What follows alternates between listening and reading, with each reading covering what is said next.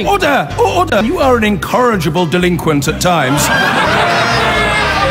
Behave yourself, man!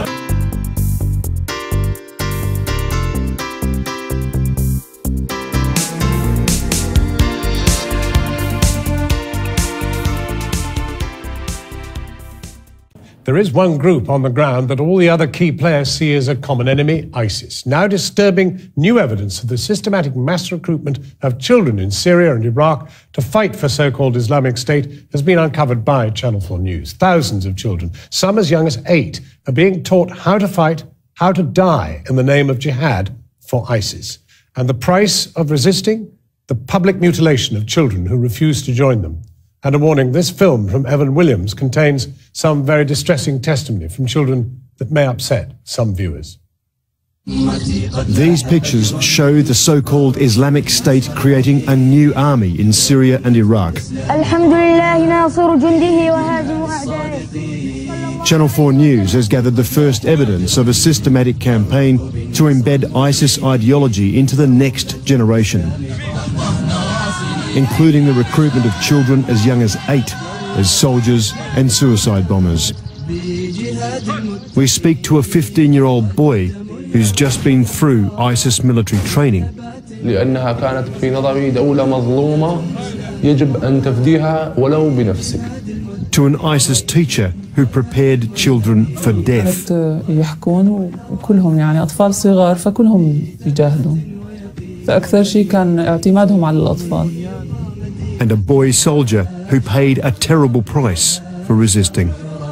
Told for the first time, this is the shocking and sometimes bizarre world of the caliphate, where young children are being taught how to kill and how to die.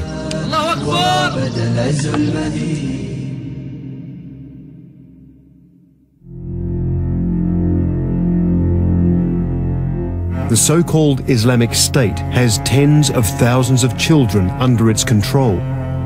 Children they are now actively recruiting as their next generation of fighters.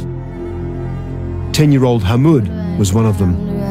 قالوا نضرب قالوا ما تضربون بالاسلحه بس اطلقون وتفكفكون فكفكناهن قالوا ركبوهن ركبناهن وسويناهن عاد قالوا نحطوهن على الحائط Getting more information about ISIS military training isn't easy.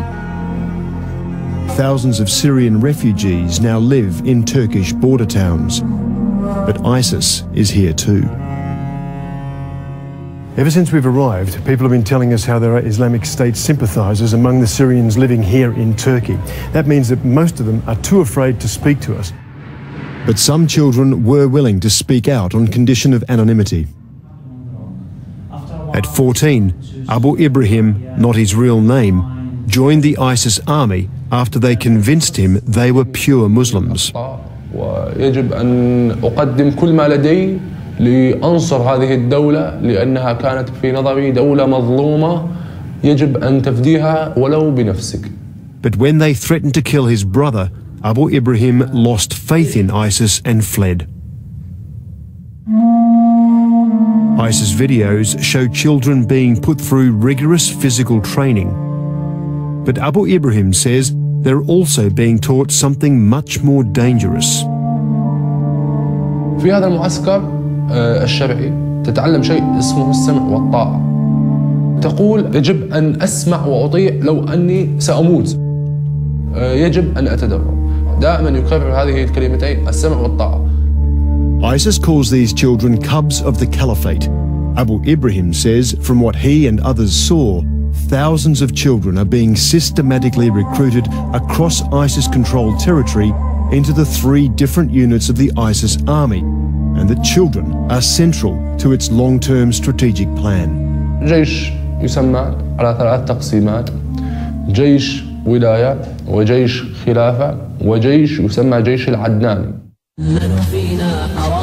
this ISIS video shows what Abu Ibrahim calls the second stage of basic training for children, where they're further coerced to commit violence. All of this seemingly unaffected by hundreds of coalition airstrikes. It's physically hard, but the main aim is to create a new army of unquestioning and what ISIS deems ideologically pure fighters.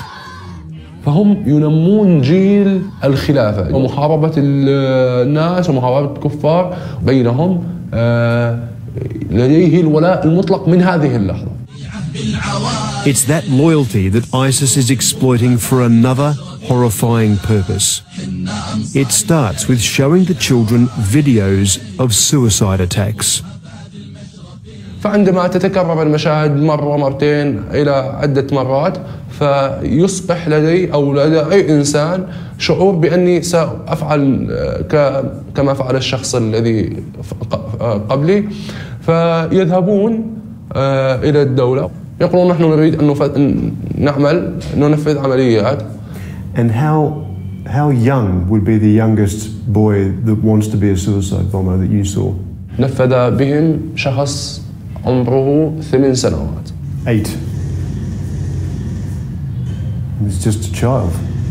ولم تستطيع أن تقنعه بأن يتخلى عن فكرته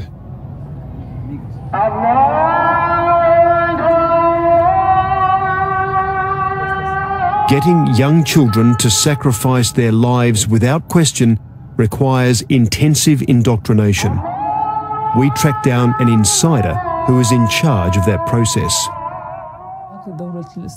Until just a few weeks before we met her, Emil was an ISIS teacher who prepared girls as young as 10 to seek death.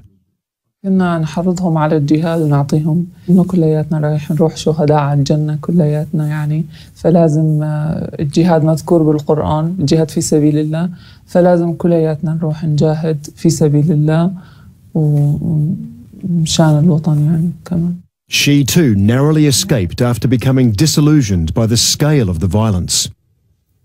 كانت اكثر شيء انه تفهمهم انه يعني دولة بشار هي كافرة ولازم نحارب كل واحد يحاربنا وضد لازم نعلي كلمة الله وصول عق... غسل عقول للأطفال الصغار These boys have also recently escaped ISIS controlled Syria.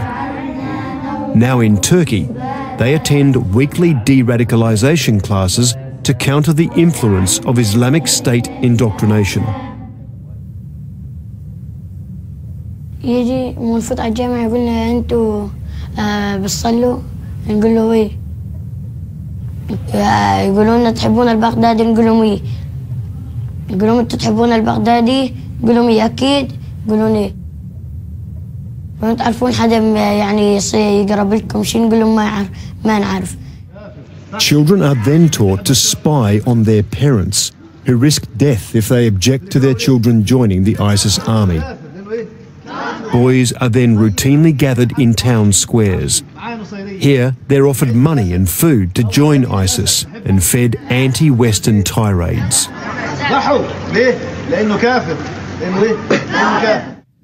10 year old Bashir, also not his real name, was among them. لما يجمعونهم هيك ويحجون معاهم انه تعالوا معانا وهاي يقولوا لهم مثلا تعالوا جاهدوا في سبيل الله راح تفوتون الجنة والمدري شكون واخر شي يعني راح تكيفون وراح نعطيكم كم شغلات وهيك Boys are then sat in front of big screens and forced to watch videos of ISIS brutality. Propaganda films like this one, which shows the execution of Syrian soldiers in Palmyra.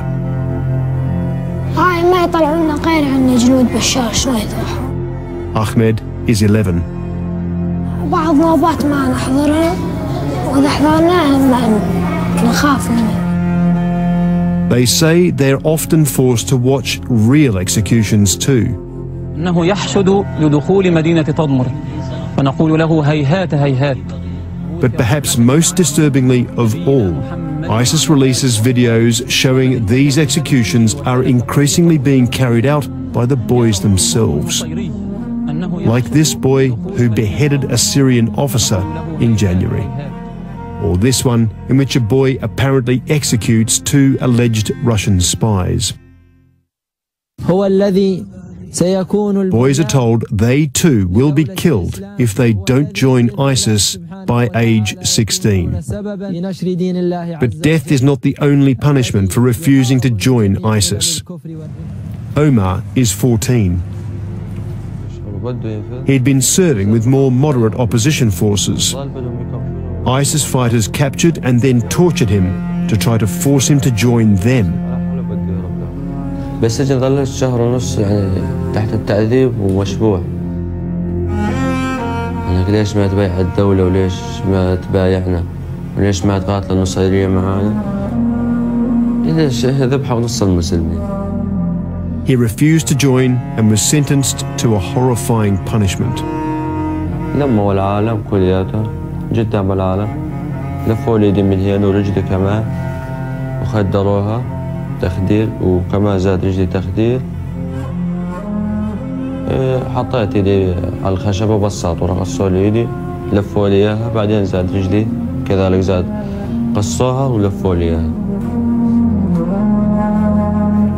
These photos show Omar's actual amputation.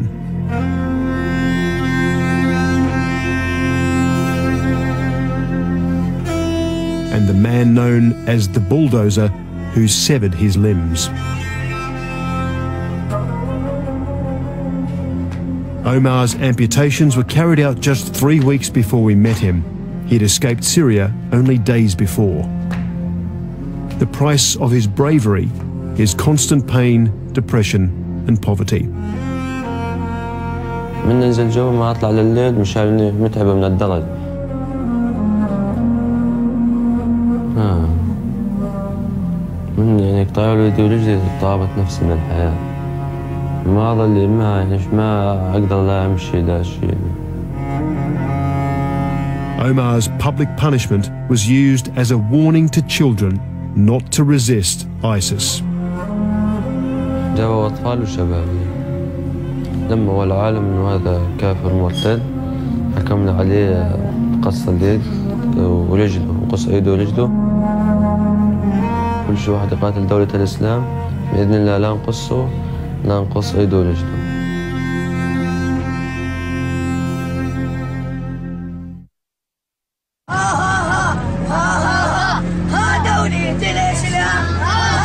The message this new ISIS army of children receives is that the Syrian government of Bashar al-Assad is the main target for now. But as their own videos reveal, their long-term plan is to attack the West whenever possible.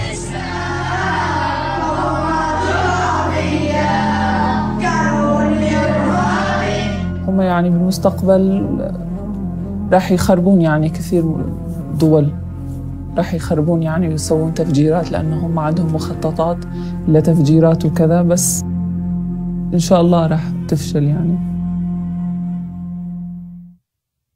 And that film was produced and directed by Evan Williams.